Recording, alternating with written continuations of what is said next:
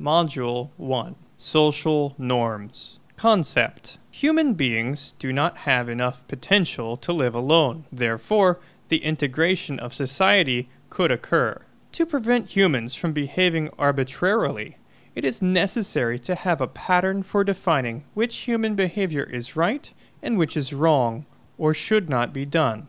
The patterns are called social norms, which have three forms, namely folkways, mores, and laws, which in each form consists of the consequences and the penalties. Learning content 1. The meaning of social norms. 2.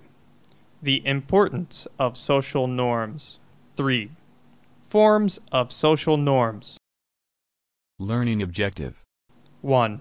Able to explain the meaning and importance of social norms. 2. Able to specify the forms of social norms. 3. Able to communicate in English.